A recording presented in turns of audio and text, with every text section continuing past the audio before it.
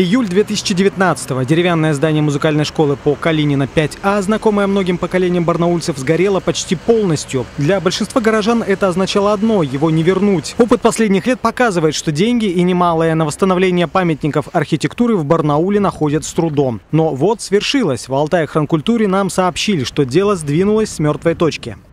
Музыкальный колледж обратился к нам, как к органу исполнительной власти, который ответственен за сохранение и контроль, ответственен за контроль по сохранению объектов культурного наследия, за получением задания на проведение работ по его сохранению. Это значит, что надежда уже есть. И это значит, что будет выполнен проект, и проектировщик оценит возможность использования того материала. Объект находится в краевой собственности, так что средства также будут выделены из краевого бюджета. Правда, когда и в каком размере, пока сказать сложно. Сначала нужно разработать проект. А вот другому знаменитому памятнику Погорельцу, конторе купца Морозова на площади Свободы, везет меньше. Порадовать пока нечем, сообщили в Алтай Хранкультуре.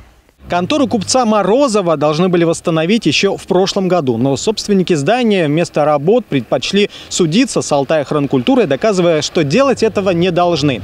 А последнее заседание в Краевом суде прошло буквально на прошлой неделе.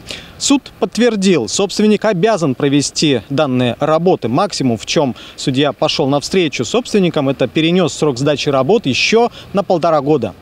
Правда, в отличие от музыкальной школы, контора находится в частной собственности, поэтому рассчитывать на бюджетное финансирование не приходится. Собственники заявляют, что на проект и реставрацию необходимо примерно 30 миллионов рублей. Таких средств у них нет и вряд ли появится. Так что надежды, что и через полтора года этот памятник архитектуры вернется к жизни, немного. Илья Кочетков, Алексей Фризин, Александр Антропов. День с толком.